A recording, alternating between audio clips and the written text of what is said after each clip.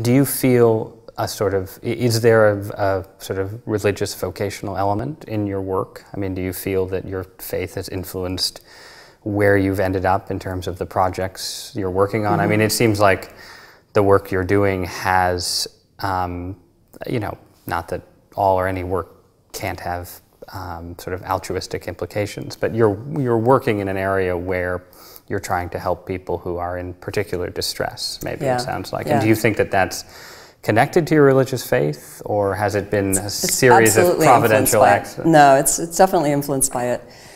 Uh, it used to be that we just thought about, you know, what work are we going to do based on. Um, like, is it hard or is it easy? Well, we're at MIT, we want to do stuff that's hard, you know.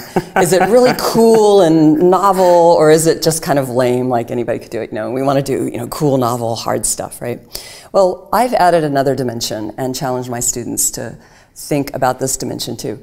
Is it something that's really going to make people's lives better? Or is it, and actually, we don't want to say it's going to make people's lives bad because nobody wants to say their work makes people's right. lives bad. So we'll just say it does a little good or it does a lot of good. And so we're trying to add this third dimension and see if we can do stuff that does a lot of good. And it means that when you're thinking about building something like an AI, you think, okay, is this really going to make people's lives better?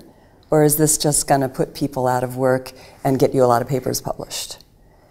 And so we're adding these other dimension, this, this other dimension to uh, ask the question.